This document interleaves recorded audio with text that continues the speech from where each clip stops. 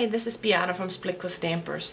In this video I want to show you how to create ornaments out of microscope slides or memory glass. I'm going to use 2 inch squares memory glass from Rangers.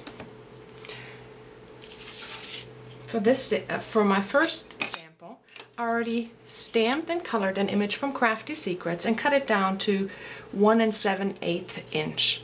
I also created a backing out of um, pattern paper and I will sandwich both of these between memory glass. I use clear mem memory glass for the back and then frosted memory glass for a more vintage look on the front. Now there are different ways to finish it off.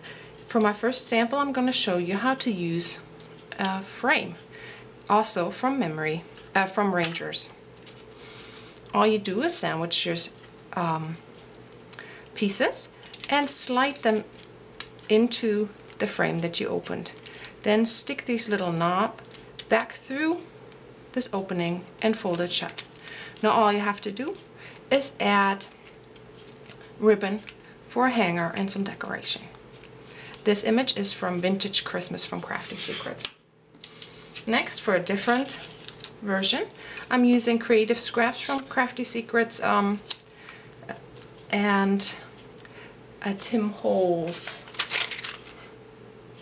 memo pin for the inside and I'm just going to use a little bit of um, adhesive to make it stick to make sure it sticks between my two layers.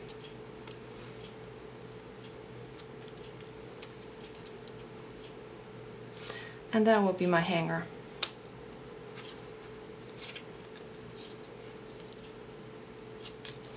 I'm going to scoot it down just a little bit more.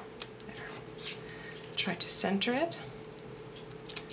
And I'm using two images, one plain one for the back and one the angel for the front. Again, I'm using frosted glass for the front and a clear one for the back.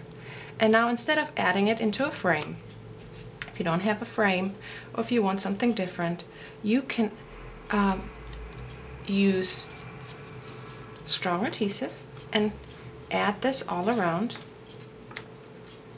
your your two frame uh, your two pieces of glass.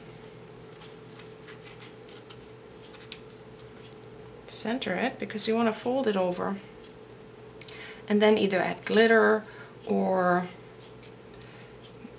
micro beads, maybe even flower soft, whatever you want to add to this. Okay, I need a scissor.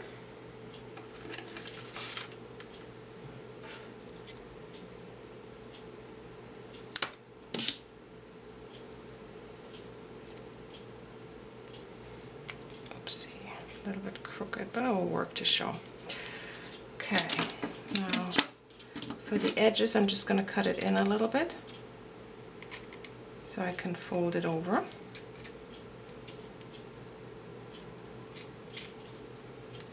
Easier.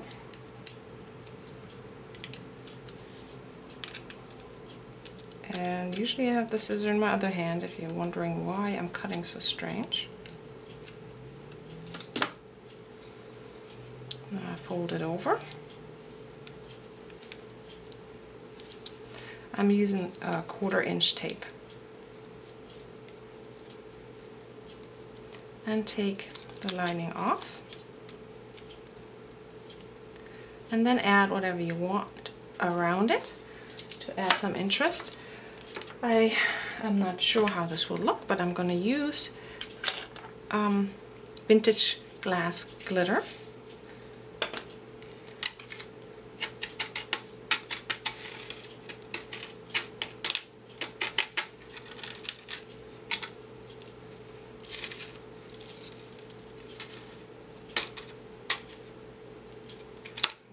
Some more. Just pour it over the edges. Probably easier this way. There you have it. I would just fiddle with it some more. But that's another way to decorate your edges and if you don't have any memory frames but you have some glass, this is a way to decorate it. You could also use uh, pictures from your children and give it to your grandparents. For that I would um, suggest that you use not frosted in the front so we can see the faces better. I hope you try it out. It's fun and it's fast. See you next time.